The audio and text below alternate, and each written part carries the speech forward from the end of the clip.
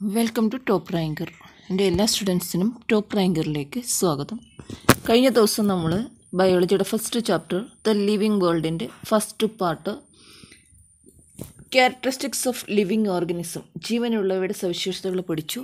അതെന്താണെന്ന് ഓർക്കുന്നുണ്ടല്ലോ? അപ്പോൾ ജീവനുള്ളവയുടെ സവിശേഷതകൾ നമ്മൾ പഠിച്ചത് എന്തൊക്കെയാണ്? ഗ്രോത്ത് അല്ലെ വളർച്ച റീപ്രൊഡക്ഷൻ അല്ലെങ്കിൽ പ്രത്യുൽപാദനം പിന്നെ എസെക്ഷൽ റീപ്രൊഡക്ഷൻ അല്ലെങ്കിൽ ബീജസങ്കലനം വഴി അല്ലാതെ അലൈംഗിക രീതിയിലുള്ള പ്രത്യുൽപാദനം സെക്ഷൽ റീപ്രൊഡക്ഷൻ അല്ലെങ്കിൽ ബീജസങ്കലനം വഴിയുള്ള പ്രത്യുൽപാദനം മെറ്റാബോളിസം അല്ലെങ്കിൽ ഊപ്പ ആപ്പച്ചയും cellular organisation of the body അല്ലെങ്കിൽ കോശങ്ങൾ കൊണ്ട് നിർമ്മിതമായ ശരീരം റെസ്പോൺസ് ടു സ്റ്റിമുലി ചുറ്റുപാടുകൾ തിരിച്ചറിഞ്ഞ് പ്രതികരിക്കാനുള്ള കഴിവ് ഇത്രയാണ് നമ്മൾ പഠിച്ചത്. അത് ഇന്ന് നമ്മൾ പിന്നെ ക്വസ്റ്റ്യൻസ് കുറച്ച് പറഞ്ഞിരുന്നു. ഹൈഡ്ര ബഡിങ് പ്ലാനേറിയ എന്ന് പറയുന്നത് റീജനറേഷൻ വഴി അമീബ ഫിഷൻ ഫിലമെന്റൽ ആൽഗി എന്ന് പറയുന്നത് ഫ്രാഗ്മെന്റേഷൻ മൂലം മനുഷ്യൻ സെക്ഷൽ റീപ്രൊഡക്ഷൻ മാൻ അമീബ എന്ന് പറയുന്നത് എ സെക്ഷൽ റീപ്രൊഡക്ഷൻ ഇത്രയും നമ്മൾ അതിൽ നിന്ന് ചെറിയ ക്വസ്റ്റ്യൻസ് നോക്കിയായിരുന്നു. ഇന്ന് നമ്മൾ പഠിക്കാൻ പോകുന്നത് diversity in the living world ജീവലോകത്തിലെ വൈവിധ്യം ആണ്. അപ്പോൾ സെക്കൻഡ് ക്ലാസ്സാണ് ഇന്ന്. അപ്പോൾ ഞാൻ ചെറിയ ചെറിയ പോർഷൻസ് ആയിട്ട് ഇടാം. കഴിഞ്ഞ ദിവസം ഇട്ടതിന്റെ ബാക്കിയാണ്. അപ്പോൾ അത് എല്ലാവരും നോക്കിയിട്ട് വേണം ഈ വീഡിയോ നോക്കാൻ. അപ്പോൾ അതിന്റെ കൂട്ടത്തിൽ ഒരു കാര്യം കൂടെ പറയാനുണ്ട്. നിങ്ങളുടെ വീ എന്റെ ചാനൽ സബ്സ്ക്രൈബ് ചെയ്തിട്ടില്ലെങ്കിൽ ഒന്ന് സബ്സ്ക്രൈബ് ചെയ്യണം. തൊട്ടടുത്തുള്ള ബെല്ലൈക്കണിൽ ഓൾ എന്ന ഓപ്ഷൻ ഉണ്ട്. അതുകൂടെ ക്ലിക്കാക്കിയാൽ ഞാനിടുന്ന എല്ലാ വീഡിയോസിന്റെ നോട്ടിഫിക്കേഷൻ അപ്പോൾ തന്നെ നിങ്ങൾക്ക് ലഭിക്കുന്നതായിരിക്കും. ഇപ്പോൾ നമ്മൾ പഠിക്കാൻ പോണത് ബയോഡൈവേഴ്സിറ്റിയാണ് ബയോഡൈവേഴ്സിറ്റി എന്ന് പറഞ്ഞാൽ ജൈവ വൈവിധ്യം എന്ന് പറയും. അപ്പോൾ the varieties of species of plants animals and micro organisms ഇത് ചേരുന്നതാണ് ബയോ ബയോഡൈവേഴ്സിറ്റി എന്ന് സസ്യങ്ങളുടെയും ജന്തുക്കളുടെയും സൂക്ഷ്മജീവികളുടെയും വിവിധ സ്പീഷീസുകളുടെ ആകത്തുകയാണ് ബയോഡൈവേഴ്സിറ്റി എന്ന് പറയുന്നത്. എന്താണ് biodiversity the varieties of species of plants animals and micro organisms സസ്യങ്ങളുടെയും ജന്തുക്കളുടെയും സൂക്ഷ്മജീവികളുടെയും വിവിധ സ്പീഷീസുകളുടെ ആകത്തുകയാണ് ബയോഡൈവേഴ്സിറ്റി അല്ലെങ്കിൽ ജൈവ വൈവിധ്യം എന്ന് പറയുന്നത് ബയോഡൈവേഴ്സിറ്റി അല്ലെങ്കിൽ ജൈവ വൈവിധ്യം എന്ന് പറഞ്ഞാൽ the varieties of species of plants animals and micro organisms അപ്പോൾ അത് മനസ്സിലായല്ലോ? അപ്പോൾ ഇതിനെല്ലാം സയന്റിഫിക് നെയിംസ് ഉണ്ട്. സയന്റിഫിക് നെയിംസ് എന്ന് ശാസ്ത്രീയമായ ഉള്ള നാമങ്ങൾ ശാസ്ത്രനാമങ്ങൾ. ഈ ശാസ്ത്രനാമങ്ങൾ എന്തിനാണ് ഒരു അപ്പോൾ എന്തെങ്കിലും ഒരു കാരണം ഉണ്ടായിരിക്കുമല്ലോ സയന്റിഫിക് നെയിംസ് എല്ലാത്തിനും കൊടുത്തേക്കുന്നതിന്? അതിന് കാരണമെന്ന് വെച്ചാൽ for giving the same name for the organisms all over the world and avoiding confusion by different names അപ്പോൾ ശാസ്ത്രീയമായുള്ള നാമങ്ങൾ ഉണ്ട്. അതെന്തിനാണ് കൊടുത്തിരിക്കുന്നത്? എന്ന് വെച്ചാൽ അതിന് കാരണമുണ്ട്. ശാസ്ത്രീയ ശാസ്ത്രനാമങ്ങൾ കൊടുത്തിരിക്കുന്നതിന് കാരണമുണ്ട്. For giving the same name for the organisms all over the world ഒരു ജീവി തന്നെ വിവിധ ഭാഗങ്ങളിൽ വ്യത്യസ്തമായ പേരുകളിലാണ് അറിയപ്പെടുന്നത്. അതുകൊണ്ട് ഏതൊരാൾക്കും തിരിച്ചറിയാൻ കഴിയുന്നതിന് വേണ്ടിയാണ് ശാസ്ത്രനാമങ്ങൾ കൊടുത്തിട്ടുള്ളത്. അപ്പോൾ ഡെഫിനിഷൻ പറയുവാണെങ്കിൽ for giving the same name for the organisms all over the world and avoiding confusion by different names അതായത് ഒരു ജീവി തന്നെ വിവിധ ഭാഗങ്ങളിൽ വ്യത്യസ്ത പേരുകൾ അറിയപ്പെടുന്നതിനാൽ ഏതൊരാൾക്കും തിരിച്ചറിയാൻ കഴിയുന്നതിന് വേണ്ടി ഇട്ടിരിക്കുന്ന നാമങ്ങളാണ് ശാസ്ത്രനാമങ്ങൾ എന്ന പേരിൽ അറിയപ്പെടുന്നത്. എക്സാമ്പിൾ പറയുവാണെങ്കിൽ ഇപ്പോൾ നമ്മൾ വിളിക്കുന്ന പൂച്ച ക്യാറ്റ് ഇതിനെ ഒരു സ്ഥലങ്ങളിൽ അതായത് ഇവിടെ എല്ലാം പറയുന്നത് എന്താണ്? കേരളത്തിൽ നമ്മൾ പൂച്ച എന്ന് വിളിക്കും. നമ്മൾ വടക്കേന്ത്യയിലൊക്കെ ചെല്ലുവാണെങ്കിൽ അതിനെന്താ പറയുന്നത് ബില്ലി എന്ന് വിളിക്കും. അപ്പം അതൊരു ഉദാഹരണമാണ്. ടപ്പിയോക്ക. ടപ്പിയോക്ക എന്ന് പറഞ്ഞാൽ എന്താണ്? കപ്പ. അതിന് പല പേരുണ്ട്. കപ്പ ചീനി കൊള്ളി മരക്കിഴങ്ങ്. ഓരോ സ്ഥലങ്ങളിൽ ഓരോ പേരിലാണ് ഇത് അറിയപ്പെടുന്നത്. ഇപ്പോൾ കുറുക്കന് തന്നെ ഇംഗ്ലീഷിലൊരു പേരാണ്. അല്ലാതൊരു പേര്. അപ്പോൾ കുറുക്കന് ജക്കാൾ നരി ഊളൻ ഇങ്ങനെ പല പേരിലാണ് അത് അറിയപ്പെടുന്നത്. അപ്പോൾ ശാസ്ത്രനാമങ്ങൾ എന്തിനാണ് ഇട്ടിരിക്കുന്നത്? അല്ലെങ്കിൽ സയന്റിഫിക് നെയിംസിന്റെ ഡെഫിനിഷൻ എന്താണ്? ഇതൊക്കെ മനസ്സിലായെന്ന് വിചാരിക്കുന്നു. അടുത്ത് നമുക്ക് നോമൻ ക്ലേച്ചർ അല്ലെങ്കിൽ നാമകരണം പഠിക്കാം. Naming of organism such that a particular organism is known by the same name all over the world നമ്മൾ പറഞ്ഞത് തന്നെ നെയ്മിങ് ഓഫ് ഓർഗനിസം എ അതായത് ഒരു ജീവിക്ക് പേരിടുമ്പോഴേ എല്ലാ സ്ഥലത്തും ഒരേ പേരിൽ അറിയപ്പെടാൻ വേണ്ടി ഒരു പ്രത്യേക പേര് നൽകുക. ഒരു ജീവി ലോകമൊട്ടാകെ ഒരേ പേരിൽ അറിയപ്പെടാൻ പേര് നൽകുന്ന ആ രീതിക്കാണ് നോമൺ ക്ലേച്ചറും അല്ലെങ്കിൽ നാമകരണമെന്ന് പറയുന്നത്. ഒന്നുകൂടെ പറയാം. Naming of organisms such that a particular organism is known by the same name all over the world ഒരു ജീവി ലോകമൊട്ടാകെ ഒരേ പേരിൽ അറിയപ്പെടാൻ പേര് നൽകുന്ന രീതിക്കാണ് നോമൻ ക്ലേച്ചർ എന്ന് പറയുന്നത്. അപ്പോൾ അത് തന്നെ ഐ സി ബി എൻ ഉണ്ട് ഐ സി ഇസിഡൻ ഉണ്ട്. ഐ സി ബി എൻ എന്ന് പറഞ്ഞാൽ ഇന്റർനാഷണൽ കോഡ് ഫോർ ബൊട്ടാണിക്കൽ നോമൻ ക്ലച്ചറാണ് ഐ സി ബി എൻ. ഇത് ചെയ്യുന്നതെന്ന് വെച്ചാൽ provides agreed principles and criteria for the scientific naming of plants ഇത് പ്രത്യേകമായിട്ട് ചില പ്രിൻസിപ്പിൾസും ചില ഇത് പറയുന്നുണ്ട് ഇതിന് ബൊട്ടാണിക്കൽ നെയിംസ് അതായത് പ്ലാൻസിന് നെയിം കൊടുക്കുന്നതിനുള്ള ചില പ്രിൻസിപ്പിൾസ് ഒക്കെ ഉൾക്കൊള്ളുന്നതാണ് ഈ ഐ സി ബി എൻ എന്ന് പറയുന്നത്. ഐ സി ബി എന്റെ ഫുൾ ഫോമാണ് international code for botanical nomenclature എന്നാണ് ഐ സി ബി എന്നിന്റെ ഫുൾ ഫോം അടുത്തത് അപ്പോൾ ഇത് പഠിച്ചല്ലോ? ഐ സി ബി എൻ എന്താണെന്ന്? പ്ലാൻസിന് നെയിം നൽകാൻ വേണ്ടി എഗ്രീഡ് പ്രിൻസിപ്പിൾസും ക്രിറ്റേറിയൊക്കെ ഉൾക്കൊള്ളുന്ന കോഡാണ് ഇന്റർനാഷണൽ കോഡാണ് അതെ ഐ സി ബി എൻ ഇനി ഐ സി ഇസഡ് എൻ ഉണ്ട്. ഐ സി ഇസഡ് എൻ എന്ന് പറഞ്ഞാൽ എന്താണ്? International code for zoological nomenclature അതാണ് I C Z N international code for zoological nomenclature it provides agreed principles and criteria for the scientific naming of animals ഇതെന്ന് പറയുന്നത് എന്ത് ചെയ്യുന്നുണ്ട്? പ്രത്യേകമായിട്ട് ഉള്ള ചില പ്രിൻസിപ്പിൾസും ക്രൈറ്റീരിയയും സയന്റിഫിക് നെയിം ശാസ്ത്രീയമായി മൃഗങ്ങളുടെ പേരിടുന്നതിനകത്ത് ഇത് വെച്ചിട്ടുണ്ട്. അതാണ് international code for zoological nomenclature എന്ന് പറയുന്നത്. അപ്പോൾ നമ്മൾ നോമൻക്ലേച്ചർ പഠിച്ചു. അതിൽ ഐ സി ബി എൻ പഠിച്ചു. ഐ സി ഇസഡ് എൻ പഠിച്ചു. അടുത്ത് നമ്മൾ പഠിക്കാൻ പോണത് ബൈനോമിയൽ നോമൻക്ലേച്ചർ അല്ലെങ്കിൽ നാമ പദ്ധതി എന്നാണ് പറയുന്നത്. In the system of naming the name of each organism has two parts ഈ സിസ്റ്റത്തിൽ നമ്മൾ പേരിടുമ്പോൾ ഈ ഓർഗനിസംസിന് രണ്ട് പാർട്ട് ഉണ്ടായിരിക്കും. The first part denotes the generic name and the second part denotes the species name അപ്പോൾ ഇതിൽ ഫസ്റ്റ് പേര് എന്ന് പറയുന്നത് ജനറിക് നെയിമും രണ്ടാമത്തെ പേര് സ്പീഷീസിന്റെ നെയിമും സ്പെസിഫൈ ചെയ്യുന്നതായിരിക്കും. This naming system was proposed by Carl Linnaeus അപ്പോൾ കാൾലിനേസ് ആണ് വർഗീകരണത്തിന്റെ പിതാവ് ദി നാമ പദ്ധതിയുടെ ഉപജ്ഞാതാവ് എന്ന പേരിൽ അറിയപ്പെടുന്നത് കാൾലിനേസ് ആണ്. അപ്പം നമ്മൾ പറഞ്ഞു ബൈനോമിയൽ നോമൻക്ലേച്ചർ പറഞ്ഞു ദി നാമ പദ്ധതി.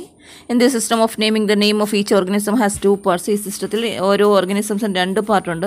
The first part denotes the generic name and the second part denotes the species name അതിന്റെ ഫസ്റ്റ് പാർട്ട് ജി ജനറിക് നെയിമും സെക്കൻഡ് സ്പീഷീസ് നെയിമുമാണ് this naming system was entry proposed by Carl Linnaeus ആണ് ഈ system propose ചെയ്തത്.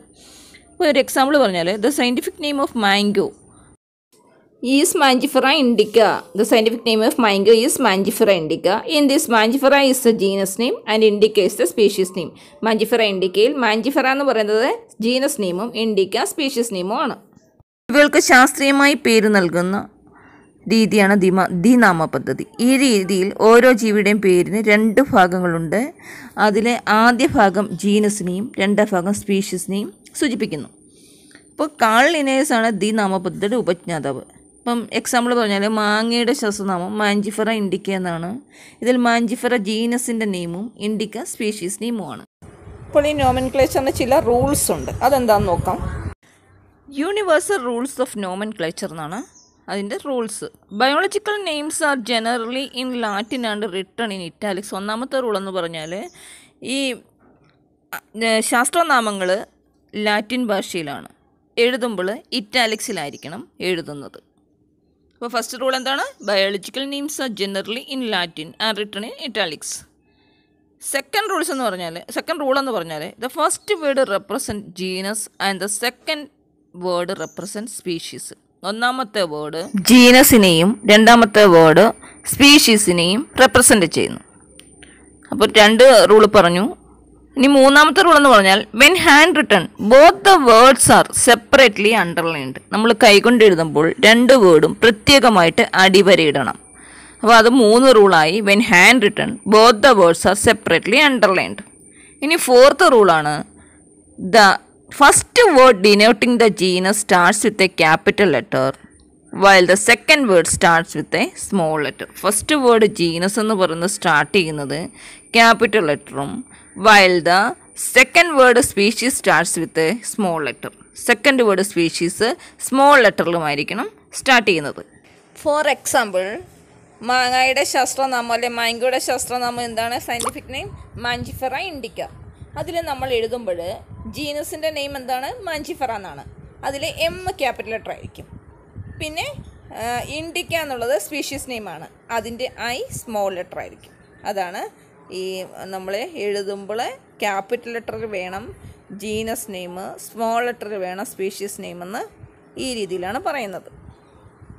അപ്പോൾ ഇതിത്ര നിങ്ങൾക്ക് മനസ്സിലായെന്ന് വിചാരിക്കുന്നു. അടുത്ത് നമ്മൾ പഠിക്കാൻ പോകുന്നത് ക്ലാസിഫിക്കേഷൻ ആണ്. ക്ലാസിഫിക്കേഷൻ എന്ന് പറഞ്ഞാൽ it is the placing of plants and animals into groups based on relationship സസ്യങ്ങളെയും ജന്തുക്കളെയും പ്രത്യേക കൂട്ടങ്ങളിലാക്കി സ്ഥാനം നൽകുന്നത് അവർ തമ്മിലുള്ള ബന്ധത്തിന്റെ അടിസ്ഥാനത്തിലാണ്. അതാണ് ക്ലാസിഫിക്കേഷൻ എന്ന് പറയുന്നത്. അപ്പോൾ ക്ലാസിഫിക്കേഷൻ നിങ്ങൾക്ക് മനസ്സിലായി എന്ന് വിചാരിക്കുന്നു.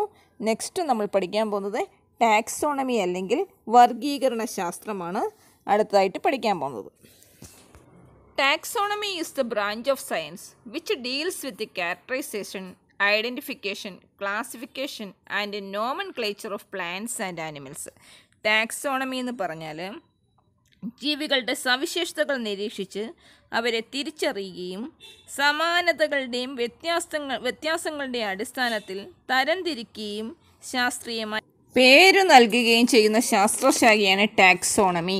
Taxonomy is the branch of science which deals with characterisation identification classification and nomenclature of plants and animal ജീവികളുടെ സവിശേഷതകൾ നിരീക്ഷിച്ച് അവയെ തിരിച്ചറിയുകയും അവയുടെ സമാനതകളുടെയും വ്യത്യാസത്തിന്റെയും അടിസ്ഥാനത്തിൽ തരംതിരിക്കുകയും ശാസ്ത്രീയമായി പേരു നൽകുകയും ചെയ്യുന്ന ശാസ്ത്രശാഖയാണ് ടാക്സോണമി. അപ്പോൾ ടാക്സോണമി നിങ്ങൾ മനസ്സിലാക്കിയെന്ന് വിചാരിക്കുന്നു. അടുത്തത് സിസ്റ്റമാറ്റിക്സ്. ടാക്സോണമിക്ക് വർഗീകരണ ശാസ്ത്രം എന്നാണ് പറയുന്നത്. സിസ്റ്റമാറ്റിക്സ് എന്ന് പറഞ്ഞാൽ it is the study of biodiversity and relationship among organisms ജൈവ വൈവിധ്യം ജീവികൾ തമ്മിലുള്ള ബന്ധങ്ങൾ എന്നിവയെക്കുറിച്ചുള്ള പഠനമാണ് സിസ്റ്റമാറ്റിക്സ് എന്ന് പറയുന്നത്.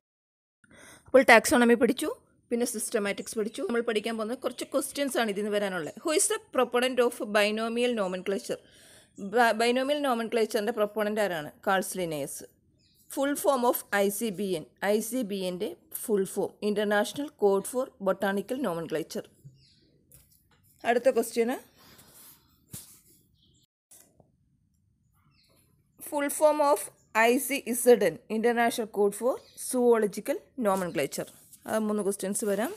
പിന്നെ അടുത്ത് വരാൻ ചാൻസ് ഉള്ളത് write the name of two important books published by Linnaeus Linne പ്രസിദ്ധീകരിച്ച രണ്ട് പ്രധാന ബുക്കുകൾ. ലിനേയസ് പ്രസിദ്ധീകരിച്ച രണ്ട് ബുക്കുകളാണ് സ്പീഷീസ് പ്ലാന്ററും സിസ്റ്റേമ നാച്ചുറെ എന്ന് പറയുന്ന രണ്ട് ബുക്കുകൾ. നെക്സ്റ്റ് വരാൻ ചാൻസ് ഉള്ളത് how is scientific names written? Scientific names എങ്ങനെയാണ് എഴുതുന്നതെന്ന്. അപ്പോൾ ഞാനത് പറയാം അത് ശ്രദ്ധിച്ച് കേൾക്കുക. Biologist follows universally accepted principles to provide scientific names to identify organisms biologist എല്ലാം യൂണിവേഴ്സലി യൂണിവേഴ്സലി ലോകത്ത് മൊത്തമായിട്ട് അംഗീകരിച്ചുള്ള പ്രിൻസിപ്പിൾ അനുസരിച്ചാണ് സയന്റിഫിക് നെയിംസ് കൊടുക്കുന്നത്. അത് ഓർഗനിസംസിനെ എല്ലാം ഐഡന്റിഫൈ ചെയ്യാൻ തിരിച്ചറിയാനാണ് for plants scientific names are based on agreed principles and criteria പ്ലാൻസിന് എഗ്രീഡായിട്ട് എല്ലാവരും ലോകം മൊത്തം അംഗീകരിച്ച ചില പ്രിൻസിപ്പിൾസ് ഉണ്ട്. അതിന്റെ അടിസ്ഥാനത്തിലാണ് നൽകുന്നത്. Which are provided in international course for botanical nomenclature. അത് നമ്മൾ പഠിച്ചായിരുന്നു. ഐ സി ബി എന്നും ഐ സി ഇസഡ് എന്നും. അതെന്ന് പറയുന്നത് പ്രൊവൈഡ് ചെയ്തിരിക്കുന്ന international code for botanical nomenclature എന്നുള്ള ഇതിലാണ്. അത് ഐ സി ബി എൻ ആണ്. അതിന്റെ ഫുൾ ഫോം എന്ന് പറഞ്ഞാൽ international code for botanical nomenclature. For animals scientific names are based on the international code for zoological nomenclature ആനിമൽസിനുള്ളത് zoological nomenclature അനുസരിച്ചുള്ള കോഡ്സാണ്. അപ്പം scientific names consist of two parts scientific നെയിംസിൽ രണ്ട് parts അടങ്ങിയിട്ടുണ്ട്. Generic names and specific names അതായത് genus species generic name starts with a capital letter and specific epithet mostly start with a small letter അതായത് ജീനസിന്റെ name start ചെയ്യുന്നത് capital ലെറ്ററിലും സ്പീഷീസിന്റെ name start ചെയ്യുന്നത് small ലെറ്ററിലുമായിരിക്കും biological names are generally in Latin and written in italics ജനറലായിട്ട് ഇത് Latin ഭാഷയിലാണ് എഴുതുന്നത് ഇറ്റാലിക്സിലാണ് both the words in a biological name when hand written are separately underlined or printed in italics to indicate the Latin origin അപ്പോൾ നമ്മൾ ഇത് എഴുതുന്ന സമയത്ത് ഏത് ഇത് നമ്മൾ ഹാൻഡ് റിട്ടൺ ആയിട്ട് എഴുതുമ്പോൾ ഇത് അണ്ടർലൈൻ ചെയ്യണം അല്ലെങ്കിൽ ഇറ്റാലിക്സിലായിരിക്കണം പ്രിന്റ് ചെയ്യേണ്ടത്. Name of the author appears after the specific epithet in an abbreviated form ഇതിന്റെ നെയിം ഓഫ് ദ ഓതർ ഈ ഓതറിന്റെ പേര് ഇതിന് ശേഷം വരുന്നുണ്ട്. ഏതിന് ശേഷമാണ്? സ്പീഷീസിന് ശേഷമാണ് വരുന്നത്. മാഗ്നിഫറ ഇൻഡിക്ക കഴിഞ്ഞിട്ട് ലിൻ എന്ന് പറഞ്ഞാൽ അത് ലിൻ എന്ന് പറഞ്ഞ ഓതറാണ് ഈ പേരിട്ടതെന്നാണ് അതിന്റെ അർത്ഥം. അപ്പോൾ ഇത്രയും കാര്യങ്ങൾ നിങ്ങൾക്ക് നന്നായി മനസ്സിലായെന്ന് വിചാരിക്കുന്നു. ചാനൽ സബ്സ്ക്രൈബ് ചെയ്യാത്തവരൊന്ന് സബ്സ്ക്രൈബ് ചെയ്യണം. തൊട്ടടുത്തുള്ള ബെല്ലൈക്കൺ പ്രസ് ചെയ്യുമ്പോൾ ഓൾ എന്ന ഓപ്ഷൻ കാണും. അതിൽ പ്രസ് ചെയ്താൽ ഞാൻ വീഡിയോ ഇടുന്നതനുസരിച്ച് നിങ്ങൾക്ക് നോട്ടിഫിക്കേഷൻ ലഭിക്കുന്നതായിരിക്കും. നെക്സ്റ്റ് വീഡിയോയിൽ വരുമ്പോൾ വീണ്ടും കാണാം. Thanks for watching